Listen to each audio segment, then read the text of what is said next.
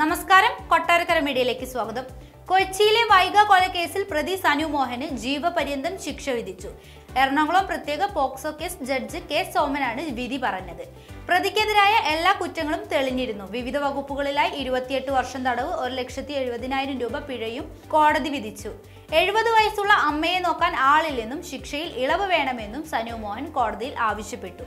എന്നാൽ കോടതി ഇത് മുഖവിലക്കെടുത്തില്ല രണ്ടായിരത്തി ഇരുപത്തിയൊന്ന് മാർച്ച് ഇരുപത്തിയൊന്നിനാണ് കേസിനാസ്പദമായ സംഭവം. കളമശ്ശേരി മുട്ടാർപ്പുഴയിൽ പതിനൊന്നുകാരിയായ വൈഗ എന്ന പെൺകുട്ടിയെ മരിച്ച നിലയിൽ കണ്ടെത്തുകയായിരുന്നു.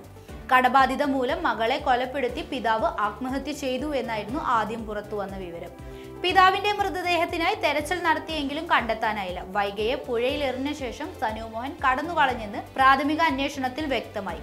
ഒരു മാസത്തെ തെരച്ചിലിനൊടുവിൽ കർണാടകയിലെ കാർവാറിൽ നിന്ന് സനുമോഹൻ പിടിയിലായതോടെയാണ് ക്രൂര കൊലപാതകത്തിന്റെ ചുരുളഴിയുന്നത് മകളെ ഇല്ലാതാക്കുകയായിരുന്നു അച്ഛന്റെ ലക്ഷ്യം. മകളെ മദ്യം നൽകിയ ശേഷം ശ്വാസം മുട്ടിച്ച് കൊലപ്പെടുത്തി പുഴയിൽ തള്ളുകയായിരുന്നു. കൊലപാതകം തെളിവ് നശിപ്പിക്കൽ എന്നീ വകുപ്പുകൾക്ക് പുറമെ കൊലപാതകം തട്ടിക്കൊണ്ടുപോകൽ തടഞ്ഞുവെക്കൽ ലഹരിക്കടിമയാക്കൽ ബാലനീതി വകുപ്പ് പ്രകാരമുള്ള കുറ്റങ്ങൾ തുടങ്ങിയവയാണ് പ്രതിക്കെതിരെ ചുമത്തിയത്. കേസിൽ പ്രതി കുറ്റക്കാരനെന്ന് കോടതി വിധിച്ചു. വൈഗ കൊലക്കേസിൽ ഇരുന്നൂറ്റി നാൽപ്പത് പേജുള്ള കുറ്റപത്രമാണ് തൃക്കാക്കര പോലീസ് കോടതിയിൽ സമർപ്പിച്ചത്. സനുമോഹന്റെ ഭാര്യ സുഹൃത്തുക്കൾ ബന്ധുക്കൾ അപ്പാർട്ട്മെന്റിലെ താമസക്കാർ എന്നിവരടക്കം മുന്നൂറോളം സാക്ഷികൾ കേസിലുണ്ടായിരുന്നു.